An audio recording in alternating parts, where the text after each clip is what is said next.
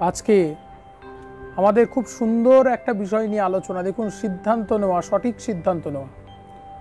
জীবনের সিদ্ধান্ত নেওয়ার ক্ষেত্রে একটা বড় ভূমিকা। সিদ্ধান্ত নেওয়ার ক্ষেত্রে যদি ভুল হয়ে যায়, পরবর্তী সম- সময়টা কিন্তু জ্বালা যন্ত্রণা ভোগ করতে হবে। অনেক দুঃখ, বিপাক ভোগ করতে হবে। এটা কিন্তু প্র্যাকটিক্যালটা মনে হয় আমার থেকে আপনারা অনেক বেশি ভালো করে জানেন। আবার অনেকে সিদ্ধান্ত নেওয়ার সময় দোনমনো ভাব হ্যাঁ না না হ্যাঁ না না। এই করতে করতেই সময় চলে যায় সামনে থেকে। যদি এমন হয়, আজকের আলোচনাটা হবে এই বিষয়ে। আজকে বলছেন যে, কীভাবে সঠিক সিদ্ধান্ত নেব? দেখুন, সঠিক সিদ্ধান্ত নিতে গেলে প্রথমে যেটা চাই সেটা হচ্ছে অভিজ্ঞতা।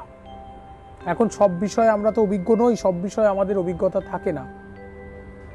একদম সত্য কথা, সব বিষয়ে আমাদের অভিজ্ঞতা থাকে না। কিছু কিছু ক্ষেত্রে কি করতে হয়? অভিজ্ঞতা সঞ্চয় করতে হয়। যখন যার অভিজ্ঞতা আছে এই বিষয়ে, সেই বিষয়ে তার কাছ থেকে তার মতামতটা নিতে হয়। মতামত নেওয়া মানে কিন্তু তিনি যেটা বলছেন সেটাই করব, সেটা নয়।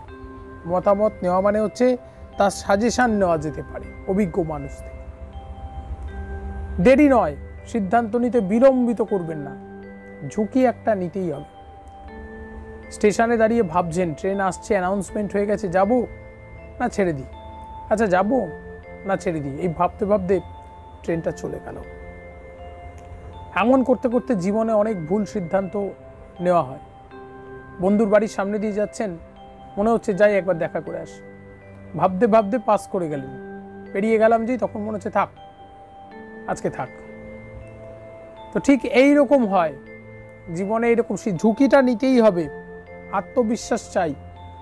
জীবনে এমন অনেক সময় আসে যখন সিদ্ধান্ত নেওয়ার জন্য আপনি কয়েক সেকেন্ড পাবেন, কয়েকটা মুহূর্ত শুধু পাবেন। তখন শ্বাস নিন আর নিজেকে ভেতর থেকে জিজ্ঞাসা করুন, আমার কি করা উচিত? দেখুন, আপনার সেই আত্মবিশ্বাস, আপনার মনোবল যদি ঠিক থাকে, আপনি যা বলছেন, যা ভাবছেন, আপনার সিদ্ধির পথে কোনো বাধা আসবে না, আপনার কার্যসিদ্ধি হবেই হবে।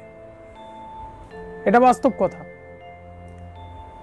তাই মনোবলটা একটা আসল যে কোনো কাজ, আর ঝুঁকি নিতে তো জানতেই হবে, রিস্ক একটা নিতেই হবে। অভিজ্ঞতা, শুধু যেন ভুল প্রচেষ্টা না হয় এটা মাথায় রাখতে হবে। আমি দেওয়ালকে ঠেলে ঠেলে সরানোর চেষ্টা করছি, সেটা হলে কিন্তু পুরো বিপদ। সেই বিষয়ে নজর রাখতে বলব। এইভাবে চললে আমার মনে হয় যে সমস্যার সমাধান হবে। জীবনে সমস্যা আসবে এই সমস্যাগুলোকে তো সমাধান করতে হবে। আজকে এখানে শেষ করছি, আবারও আলোচনা হবে। সঙ্গে থাকুন, স্বস্তি বার্তার সঙ্গে থাকুন। জীবনবাদে নানা অধ্যায় নিয়ে আলোচনা হচ্ছে। আপনারাও কমেন্টসের মাধ্যমে আপনাদের প্রশ্ন অভিজ্ঞতা মতামত শেয়ার করুন স্বস্তি বার্তার সঙ্গে। অনেক অনেক ভালো থাকুন।